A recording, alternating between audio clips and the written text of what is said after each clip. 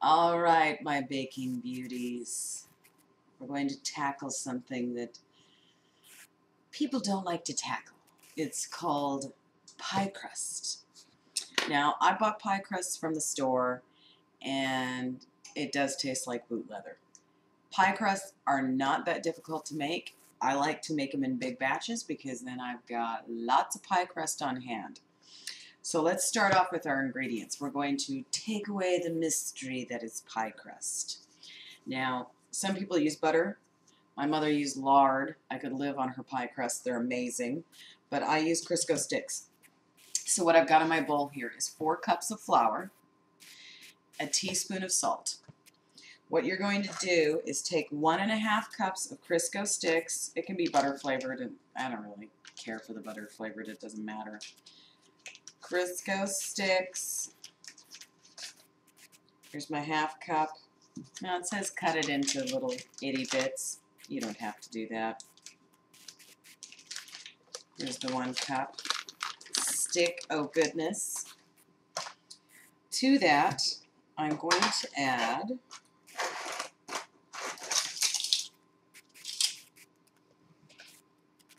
three teaspoons sugar. I like to use super fine because it just seems to mix in better. Okay, you're going to take, oops, I just about forgot. Hello. I like to add one generous teaspoon of baking powder. Kind of lifts the dough, gives it a little bit more of a flaky texture. Oakley dokley. Now what you're going to do is take a pastry cutter. If you don't have one, you can use um, forks, two forks going across, but I love this pastry cutter. And you're just going to cut into the Crisco sticks.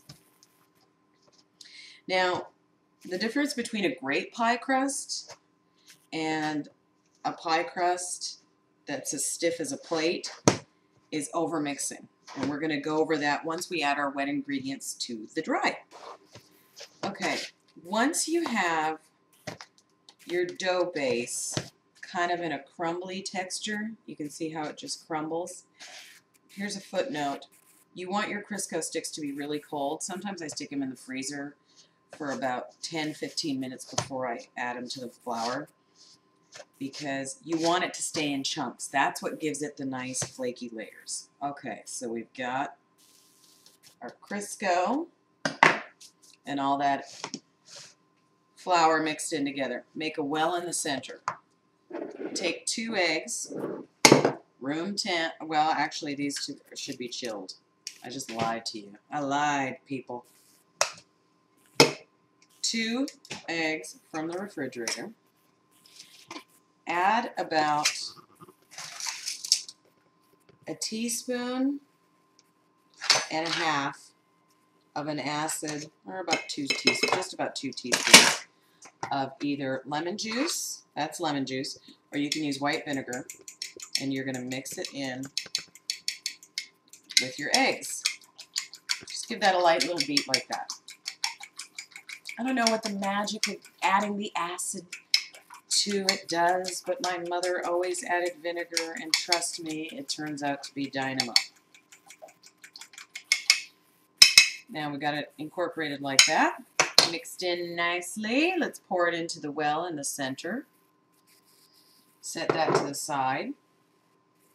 Then add, start off by adding, what I have here is ice water, very cold. Let's add about, let's do about four tablespoons of ice cold water.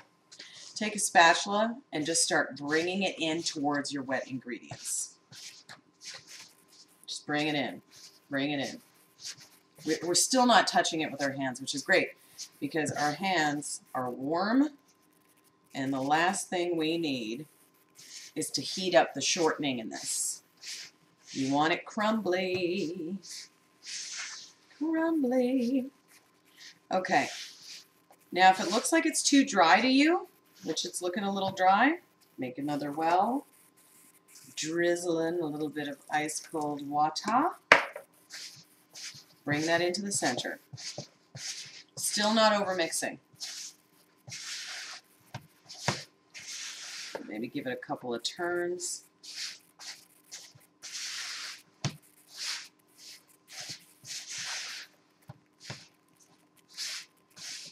I'm going to keep the cameras rolling for this because I really want you to see what the texture should look like. I'm going to add just a little spritz of some more water here.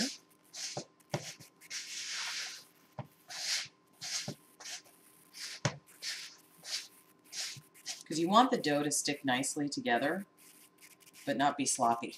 You don't want it to be soupy. So this is where you get your hand involved. You want to get that dough mixed in. Whoops. Spill. Throw back in.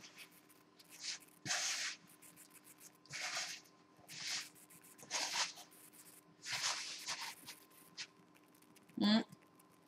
Still a little dry. Ice water. Hold on, Mr. Ice Cube. Don't get crazy.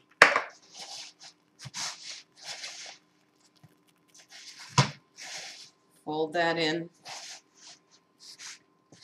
There's no beaters involved. There's not a whole lot of mixing. I mean, this gets a little unpleasant. But I can feel that my dough is nice and chilled, so that's good. That's what we want, darling. Okay. Now, chilled pie crust is a must. That rhymes. Chilled pie crust is a must. So, what you can do, this is a big batch. This will make a lot of crusts. Great thing about this, put it in your deep freeze, wrap it up, put it in your deep freeze. You can take it out, take a big knife, cut off a slice. If you want a single crust pie, you're good to go. If you want to make some tarts, good to go. You've got it in your freezer. Okay. What you can do is, I'm going to touch some things here. It's my house. I can get it gooby. Lay out some saran wrap. Take your beautiful dough. Flop it in that saran. Pull it out. Oops. I have some saran wrap that's trying to run away wrap it up like this. Put it in your fridge for about 20 to 30 minutes. You want it nice and firm. If you don't want to use it now, put it in a Ziploc bag, fire it into your deep freeze, and it'll keep for, I don't know, a couple of months in, in a deep freeze. In a fridge, it'll keep for about a week to two weeks, but you can throw it in your deep freeze. But let's chill it. We're going to come back, and I'm going to show you how to roll it out because that is important and I'm going to make some tarts. Okay, so we have our chilled pastry. What I'm going to do is take a very sharp knife and cut off some of the pastry rather than tear it. You know what? Put this back in the fridge. It's best to keep it chilled. Ah, I'm out of room. I'm out of room. Okay, so you have your board floured and you want it a nice broad space because the key is with rolling out this pastry is you want to roll it thin. Now don't muckety muck with it too much. Get a little on the bottom, a little flour on the top, and have flour at the ready, definitely. Okay, take your rolling pin, start working it. If you need to kind of make it come together. Just make it come together. Make it your make it your own. Love it like a baby.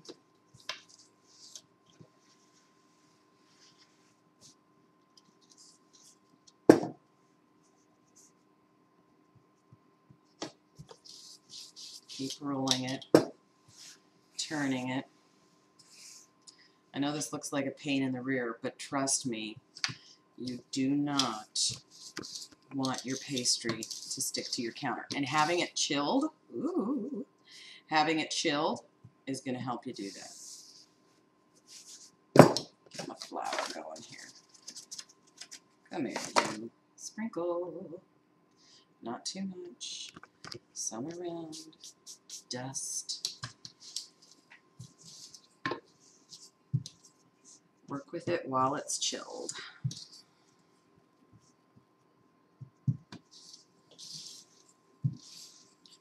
Now, there's nothing worse than really, really thick pie crust. So don't be afraid if it looks kind of thin and frail because you can pinch it together when you put it in your pie shell or when you put it in your muffin tins for tarts, which is what I'm going to do. I've got my butter tart filling here. Look at that, nice and thin. Go in different directions. A little light dusting for good measure. Okay, get them nice and thin. Take your cookie cutter, dust a little flour on it, and start cutting out your rounds.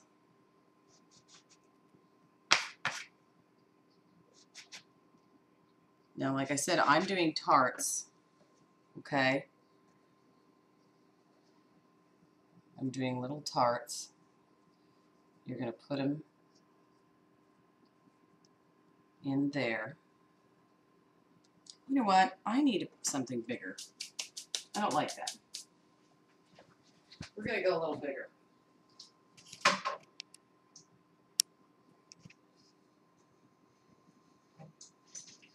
going to take this glass bowl that I used earlier. Yeah, I'm going to do that. Because I really want this to come up on the sides of my tarts. See, you know, that's the thing with baking.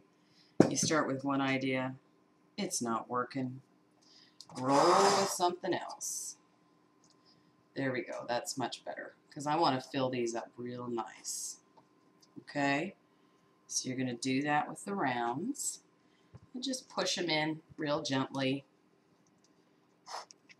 If one of them breaks, don't sweat it. Just kind of squeeze it together. Okay? So you want to fill up about um, a dozen of these, and then you're going to add your filling and bake. But you see how little I have messed with the dough. That's what you want. Very little work done to the dough. That way it will always come out flaky and nice. And like I said, the leftover pastry that you have, wrap it up in some saran wrap, put it in a Ziploc bag, and put it in the freezer. So whenever you need it for a pie crust, you just roll it out and it's ready to go. It's that simple. If you have any questions, email me on my website, foreigntreaties.com, and we'll try and troubleshoot, make it so it's light and flaky and tasty. And good luck with your baking.